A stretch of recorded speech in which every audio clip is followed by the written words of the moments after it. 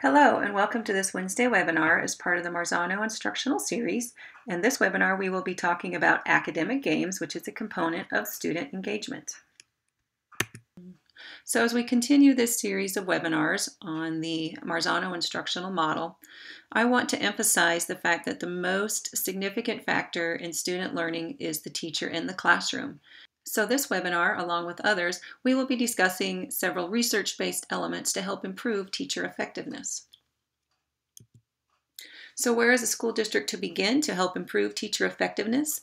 Well, one of the first steps a district can take is developing a common language of instruction. And this one in particular, we will be discussing the Marzano Art and Science of Teaching.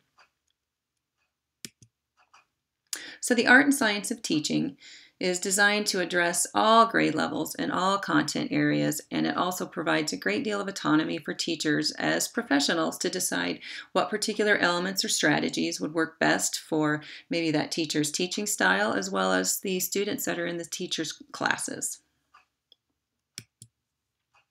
So here's the model. And we have three main categories, feedback, content, and context.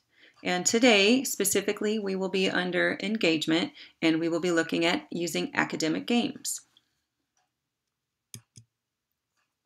So student engagement, academic games. Why do academic games help with student engagement? Well, humans have this innate desire to fill in missing information and predict outcomes. And then we want to stick around and see how things actually turn out. That's probably a, the main reason we can't turn off the game that we're in the middle of watching. We want to know how things are going to turn out. So uh, that particular innate human desire really helps to um, encourage student engagement when you're working with an academic game. So what does engagement look or sound like in a classroom? Well, one thing I do want to emphasize is we should not confuse compliance for engagement. Just because a student is um, sitting there quietly doesn't mean they're engaged with the content. Um, a student that comes in the classroom and thinks, well, all I have to do is follow the rules and complete this worksheet, then I'm out of here. Um, you know, that's not what we're looking for in terms of student engagement. We want these students to really um, be engaged with the content and interact with the content and each other. So here are just some basic rules for student engagement, and you'll see this ties to several of the other elements that are in student engagement. The physical movement will trump sitting. We know we get more oxygen to the brain for the students. Also, talking trumps listening. Listening is a very passive activity, whereas talking is going to require more thought on the students. Images trump words. Images tend to stir up more memories and emotions and feelings than words do, and it will stay with the students longer. Also, shorter is better than a longer period of time. Um, another particular element in the Marzano model is chunking. Do we chunk the material? Do we do uh, maybe small bits at a time and then shift gears? Also, novel trumps common. Another element is presenting unusual information. Anytime you bring in something that's unique, that's going to stay with the students longer and help them engage with the content. So now we're going to dive into specific games that can be used in a classroom. Um, a lot of these revolve around vocabulary words, which would work well for any content area. Um, the first one I'll show you is called Catchphrase. Any of you that watch Jimmy Fallon, you might see them play this um, quite often. Also, it's sometimes called Talk a Mile a Minute, um, or I'll date myself and say the $10,000 pyramid. It's pretty uh, close to what we use there. Um, and you could even, even modify this a little bit to do it um, like the game called Password, where they could only give a single word to help uh, give a hint. Um, but anyway, in terms of catchphrase, typically the way uh, this works is, for example, I would put this list of words up and the students have partnered where one partner is looking at the list and another one is turned away. So the first partner has to get the other one that's not looking to say these words. So they have to describe them and use their own language and their own vocabulary to get them to say these words. And then I would have them switch, and then I would give them another list and have the other student um, use their words and vocabulary to have the other student come up with these. Um, and that one's a lot of fun, and you really can feel the energy rise in the classroom when you're working on that. And also, there's always some element of competition in a classroom um, that usually engages students. So that first game is called Catchphrase.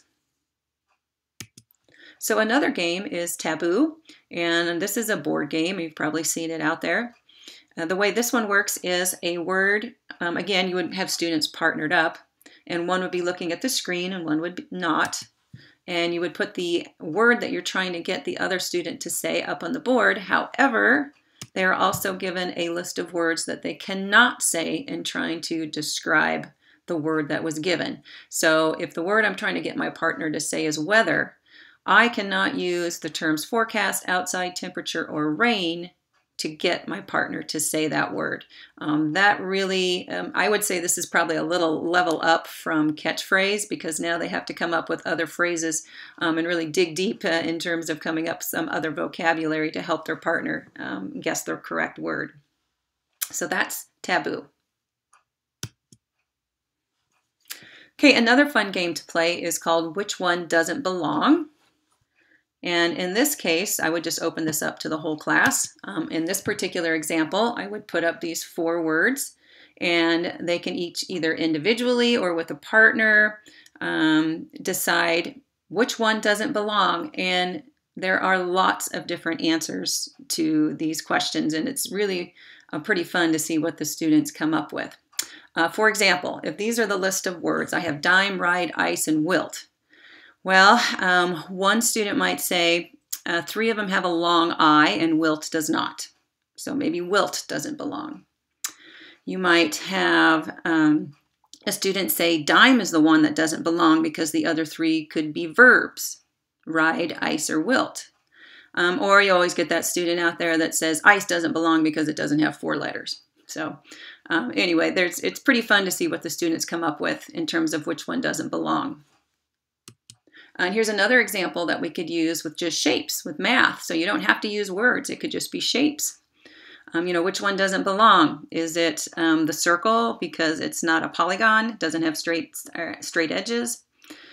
Um, is it the square because it's red and the other are blue? Is it the top rectangle because it's not filled in? So again, lots of different combinations that the students could could use, and it's always fun to see what their justification is. So uh, once again, they're going to be interacting with the content. They have to make some um, some justifications and some explanations for their thinking. Oh yeah, and another um, website the WODB actually stands for Which One Doesn't Belong. And this is a website that has lots and lots of examples that are all math for which one doesn't belong. So please check out that website if you're a math teacher. And I think there's um, about every grade level on there in terms of some possibilities that could be used. So um, please check that website out. Okay, another game is called Possible Pairs. Again, you could use words, you could use pictures. Um, here's an example where I give them a list of these six words and they pair them however they want, but they have to justify how they pair them. So a comma, question mark, hyphen, period, semicolon, or quotation marks. Once again, it's really fun to see what students come up with. They could do it individually and then share with a partner. And once again, the important component there is they have to explain why they have um, paired certain items together. Okay, another fun game uh, for the elementary level here is a contraction dice game. And again, this could be a dice game. You can use anything. It doesn't have to be for contractions. Um, but if you make some dice and you write different things on them, and then they roll the dice, and then the students in this particular case would have to, with their partner, give the proper contraction. They would have to say it and they would have to spell it. So anytime you can throw in some sort of um, game element, the students are going to be uh, more engaged. I certainly don't want to leave off tech tools. There are some great resources out there for teachers to use. Many of you are probably familiar with Kahoot. A Quizizz is very similar to that. Certainly lots of apps like Heads Up. Um, I'm also a fan of Quizlet Live, um, though I prefer tools that um, encourage or require students to interact with each other and they're not just working on their own. Um, Quizlet Live is really good for that, and there's another um, webinar that I've done on Quizlet Live if you'd like to take a look at that tool. And I know with Quizlet Live and Kahoot and possibly Quizizz, you can get um, the results of how the students did after taking those quizzes. And I think it's important that we look at those results to see how our students are doing in terms of our learning goals. It's really important when we're doing games that we take some time after the game to debrief and see how students are doing in their learning. Quizlet Live, I know um, it will show you how students did. Um, there's one slide that says uh, what we learned today, um, what we already know, and maybe the ones that we need to spend some more time on. So please take some time after these games to really interact with your students and debrief on what they've learned um, from that particular interaction. So, just a reminder about student engagement. It refers to the degree of attention, curiosity, interest, optimism, and passion that they have while they're learning. And I think anytime you have a teacher that is also passionate and curious and, and loves their content, that will certainly be mirrored in their students. And anytime you can make a, phys- psychological connection with the learning with the students, and maybe that's physically, the students are up and moving around with it. Um, mentally, they're required to think more critically about the information.